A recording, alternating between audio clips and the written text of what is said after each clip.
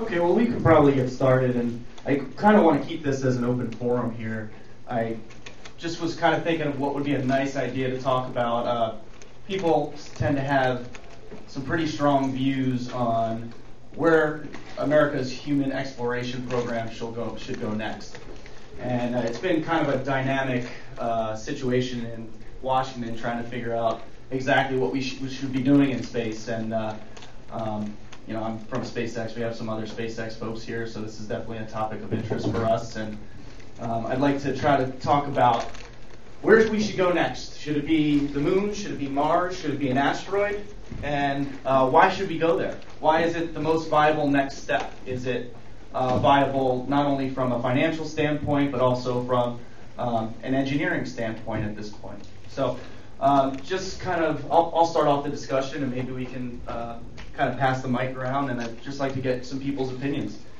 So um, I, I, came from NASA uh, on the Constellation program at first, and um, was a little bit uh, kind of disappointed to see the Constellation program uh, disintegrate. Um, but uh, I, was, I kind of understood that uh, we needed a new vision for space. And I absolutely believe that.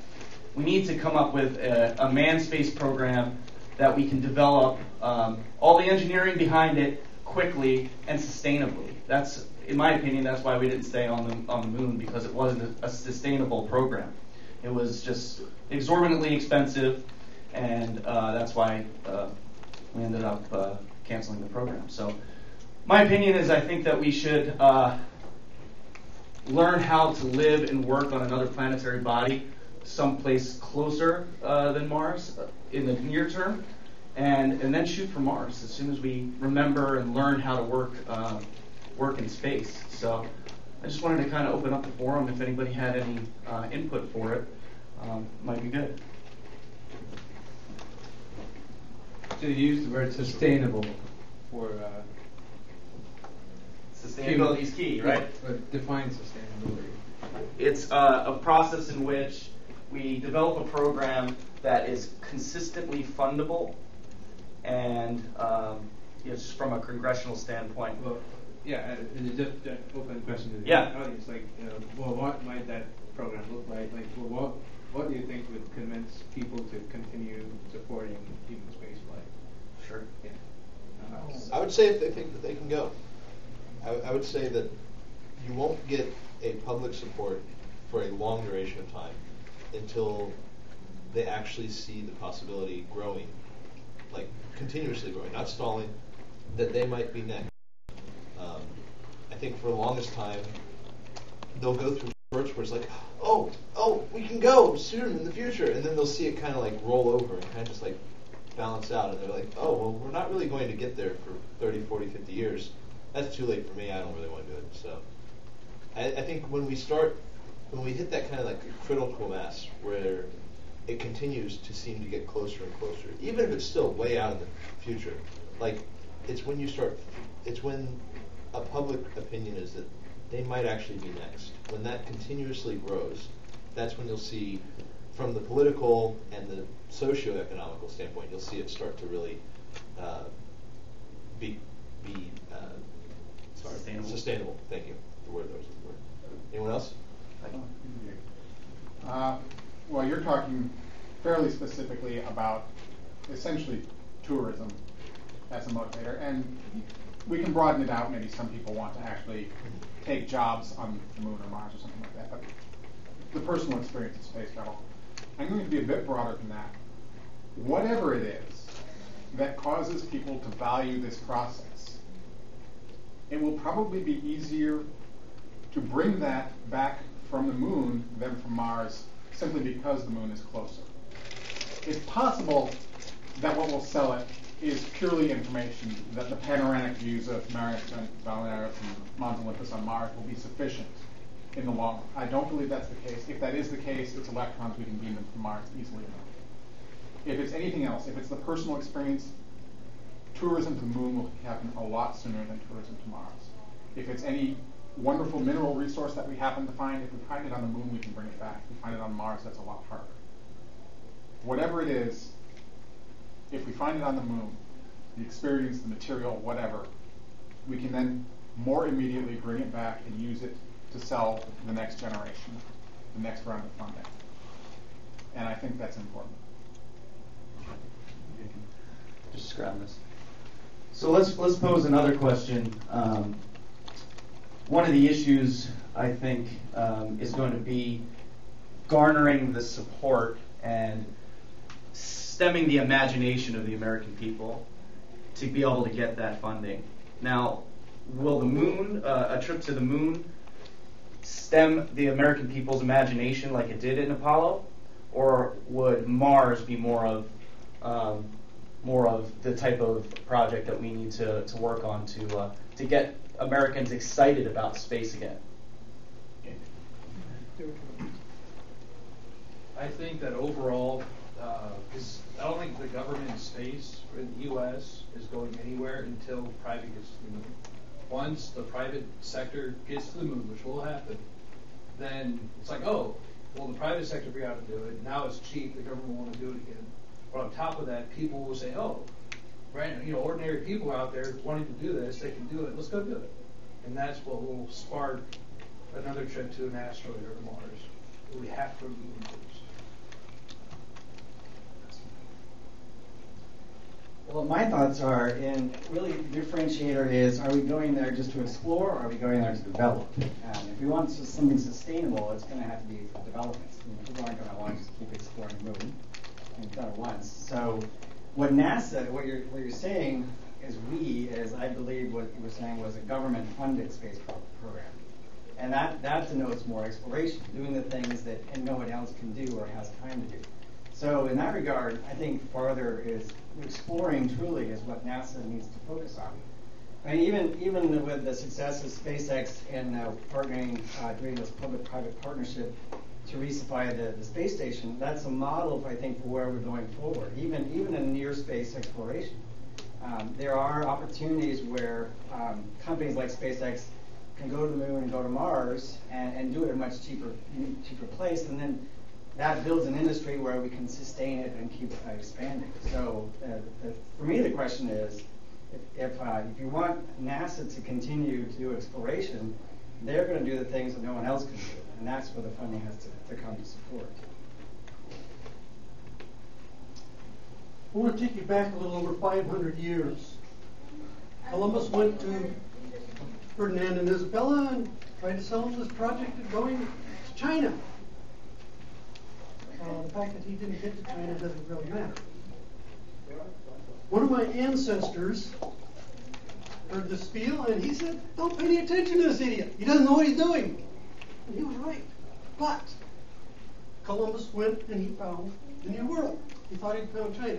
He kept looking for China on four, on four different trips. Never found anything. This was a government sponsored program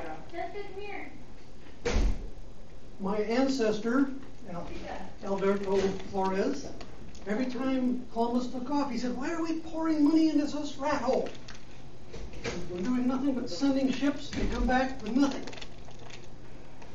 In 1521, Pizarro got, or not Pizarro, um, Cortez. Cortez got a consortium of private investors, uh, most of whom were busy fleeing Spain so they didn't get thrown in jail or stood up against the wall. And they went to Mexico and they sent back shiploads of gold. They only sent the gold back because everything else they got wasn't worth as much. They would actually take and dump silver in lakes to, to make roads so they could haul out the gold. This got people in Spain's attention. They had a profit, an incredible profit. And from that point on, you couldn't find a ship in Spain because they were all headed for the New World. They were headed for the gold fields. They went to South America and uh, raided the, the Incas. Uh, my first ancestor in the United States came over as a tax collector. I think we wanted to go back here. That's fine. That's fine. So let's talk engineering for a minute. What will it take for a sustainable program to be, to be developed to go to uh, Mars to the moon or to an asteroid. Anybody have any input? Yeah, I just heard the right answer. You got to have the fuel for your return trip right before you're there. That changes the economics of transportation enormously. And better still, if you can provide fuel for both legs of the trip, if you can export fuel in from either the moon or some asteroid, it's conceivable you could export fuel to low Earth orbit on an economical basis. And at that point, all of your transportation needs basically reduced to Earth launch. So I'd say along those lines, uh, also avoid and divide the gravity wells. Like making something that takes off of a really deep gravity well like Earth, that then has everything else to go the rest of the way, it's going to be a problem. Uh, it makes it bigger, and then that gravity well is a much bigger problem. Uh, so separate the problem, basically. Um, same thing. Like if you have if you have something going from Earth to Mars, um, then then coming back, then if you have if you have that fuel all going with you, then that fuel has to go through all that gravity well emissions. Uh, I, I, just to expand upon that a little bit. Stop the moon first. Well, but stopping the moon doesn't help you because that's another gravity well that you go down. And Right, but it's nowhere near. One sixth of gravity that. Sure, but no, that's true. And, and, if, and if you can if you can show that, that you can get like fuel there or something, if you can pick something up there that helps you, then absolutely. But just stopping the moon and then going on to Mars, Well, no, that's you- that's a, that's a It would waste. have to be some sort of refueling, or we just have to have a whole new type of fuel in the first place that is more efficient. At that point, you're better off staying in orbit around here. Which I mean, that might not be a bad thing. Staying in orbit around the moon, staying in orbit around like that's why that's why commercial access to LEO is so important because you now have built a bridge to out of that biggest gravity well, and everybody who starts looking beyond that don't have to worry about getting out of that gravity well. They have to worry about what they do once they're out of that gravity well, and uh, I think that's going to be really a big part of the engineering of this. Um, could you please repeat your question? Oh, yeah. So my question was uh, along the engineering um, lines, what will it take to make a mission to the moon, to an asteroid, or to Mars sustainable so we can fund that kind of a program?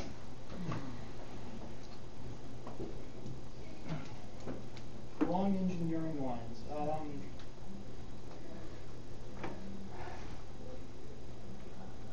I'm sorry. Uh, when I think of along engineering lines, I also think along the business lines. What okay. near-term profit you can make from that exploration?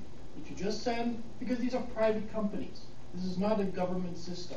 Government system, they can send a ship out, it can come back with nothing, and it's fine. Private company, they gotta send a ship out, they gotta get something in return that's of worth to that voyage. If they don't, they can't exist. The question really is, is what resources or resources are out there that we can bring back or somehow use that is profit that will profit the company.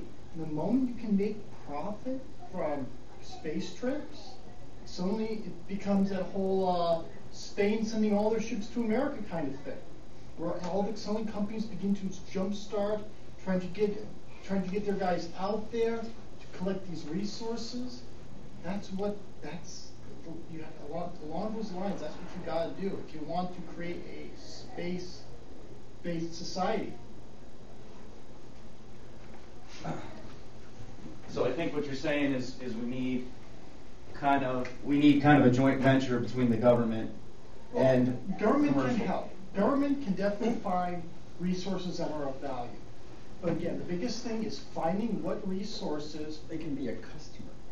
Yeah, they can definitely be a customer. Sure. That's also a I mean, good they're- they're- option. The government's not gonna go looking for business opportunities. No, They're just- they're but they could find They could be the, a uh, they, they do have the ability to send out missions that would never have happened. The thing is, what resources in space are valuable enough to send ships out and back? That's the question. They need to stop looking for life and start looking for raw materials that we Okay. The mission, the mission should go to Mars to find something to dig up and bring it back, and go to the moon, same, same deal. You're looking for water for, on the moon, that kind of thing, you should just shift the mission. So, okay, so what you guys are saying is it's more of a mission of finding a viable business plan. Yeah. Yeah. Okay. That's, that's for the development side. The, the exploration side is still going to be pure, just let's go do it because it hasn't been done. We should do that too. I so, so one thought along those lines is why does the, the profit have to come from space? I mean, we have, you know, the, you know, 10,000 richest people on Earth decided, I want to go live on Mars. We don't have to go to Mars to mine stuff if, you know, there, if there's some kind of steady source of income from on Earth. So I think there's not, you know, it doesn't necessarily have to be like, oh, we have to go and mine a bunch of resources on that. But, you know, there's potentially already sources of income for private companies on Earth um, without having to go and like collect resources from space, which is potentially you know, a lot of infrastructure that um, isn't in line with what you know other income sources might be wanting to do. You could, sorry, um, if you're investing everything like you know some big mining operation, then you, you're not you know putting your resources into developing ways of living on Mars, for example. So there's potentially you know another side to this. But that will come from it, largely. Yeah, potentially. So And that's what happened with there's- there's Cortez. Yeah. Some people stuck around. Some people stuck around here and they built a society over here. Um, so. I was just gonna say, you just, instead of worrying about what's there, you follow the, the COTS model. You sell the service to get there and back. You say, I can do that, just like the airlines do it. Uh, United doesn't have interest in Houston, Texas, or in Chicago, or in LA, but they can get you to those places, and they can get you to those places cheap. If someone can do it cheaper, then they do it better, and, they- and they profit.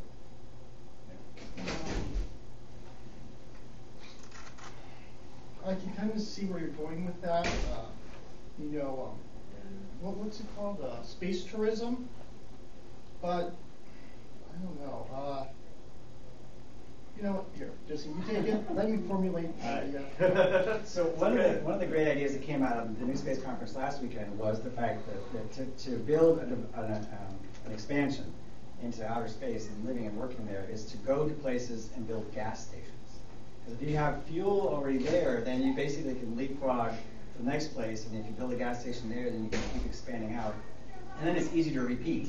You know, you don't have to you don't have to build a spaceship which come all the way from, from Earth. You can just stop at these waypoints and, and get refueled. Now that's that's not a new idea, right? That's that's an idea that we've come up from in the past. But what the issue with that is building up that infrastructure and where that enormous amount of income will come will come from to support that kind of activity. That's not even it, really. It's getting the fuel to those fuel stations. Mhm. You know, I mean, you have to find it on that planet or, you know, wherever it's at, and you can't just ship it there on one ship. It's impractical. Sure. The problem with the gas station idea is, first you have to have somebody who wants to go there, and he has to have a reason to go there. He probably has to make enough money to pay for Mhm. the trip there. Well, that's not You know, right So we now- start with LEO. No, Right. nobody's got. LEO, L, L1, uh, L, Lagrange points. Uh, Right now, the best place to set up a gas station is LEO, but in order to do that, you gotta go to the moon, you gotta build a huge infrastructure, there's oxygen there, uh, all kinds of chemically bonded oxygen that's releasable, and when you release it, you get byproducts like aluminum, titanium, and other things you would want. Uh, the oxygen would be either the product or the byproduct. In either case, you're selling both halves of it. The other thing is, we've recently, in the last couple of years, found out that there's a lot of hydrogen there. It is embedded in the soil, regolith, whatever you want to call it, uh, from proton bombardment from the sun. So uh, the fuel's there. And it's going to take a huge amount of money to get there, set up something to mine it, set up something to launch it, come back. Um, like I say, it's huge, a huge upfront cost. So, Um, well, I don't know, this may actually be something you sort of answered, but I'm, I'm a total layperson, but I'm just curious, can't you sort of look at what you know the moon has and kind of reverse engineer something that could effectively utilize, like, chemical, I mean, is that, that's basically what you're saying? Alex, you'd like to go back to my past point?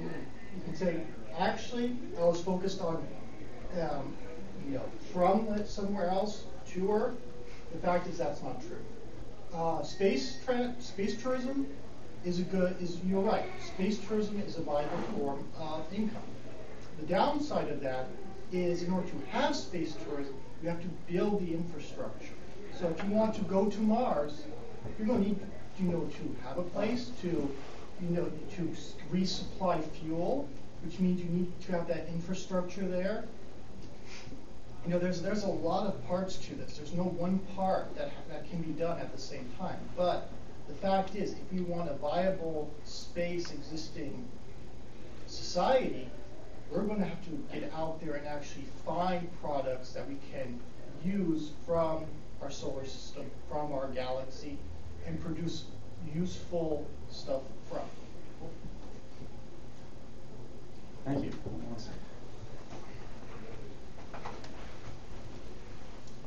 First off, I'd like to uh, answer the question about using what we know the moon has. And unfortunately, on the basis of six lunar landings that were all chosen with the number one requirement, make absolutely certain there's nothing there that might damage a lander.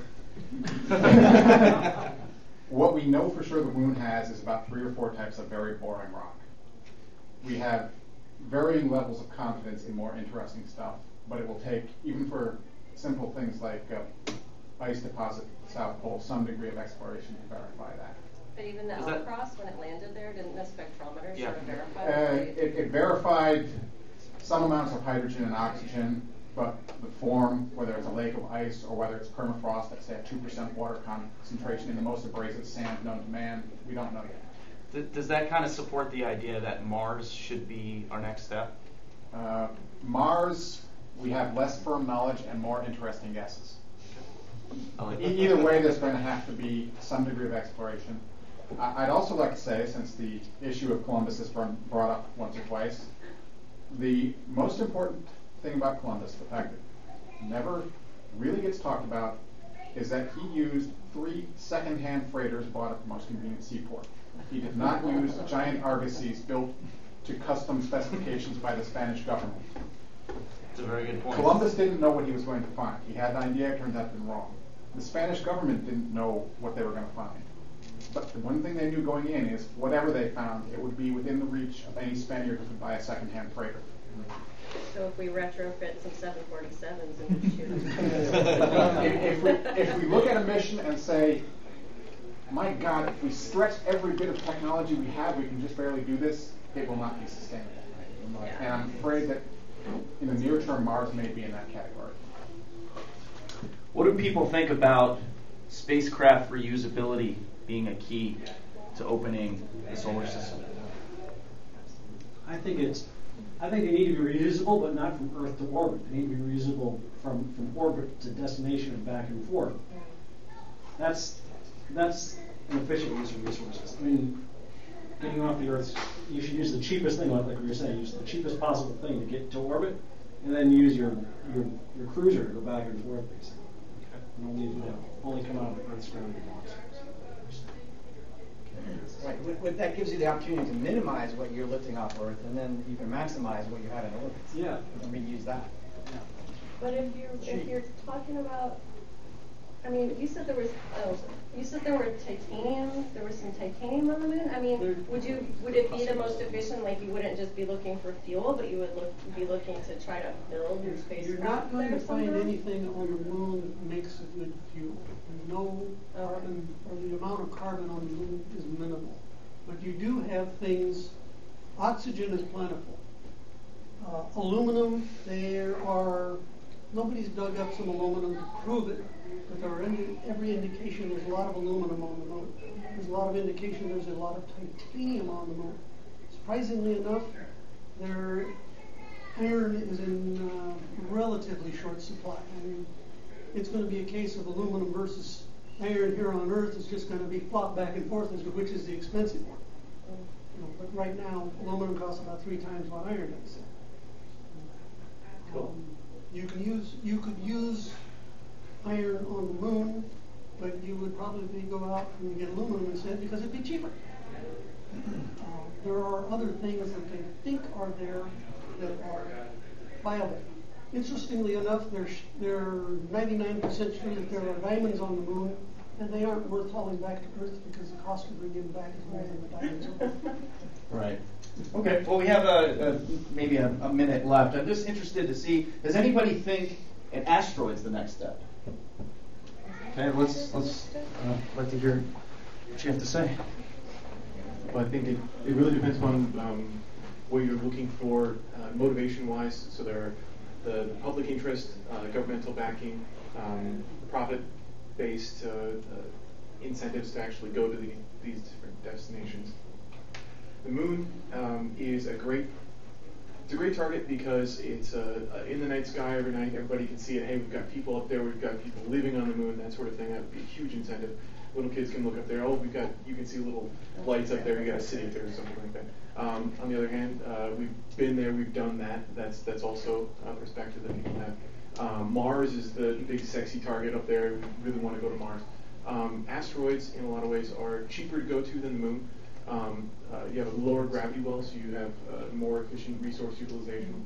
Um, and since they're smaller, the uh, resources that you're looking for are actually closer to the surface. So I'm thinking if you're going pure profitability on uh, providing, say, uh, materials for the fuel depots in LEO and other destinations, an asteroid is probably the better way to go. If you're looking for something that's uh, politically viable, say public support, um, probably the moon or Mars. Cool. Awesome. And isn't it also a matter of the government support? Because didn't Obama say so if he was reelected, then he's the one saying we want to put a man on an asteroid? So Sure. Yeah. governmentally speaking. Yeah, it depends on how much of your business model is reflected by the government. Right? So, well, thanks guys for, for coming. Uh, I think we elapsed our time pretty quick. Thanks.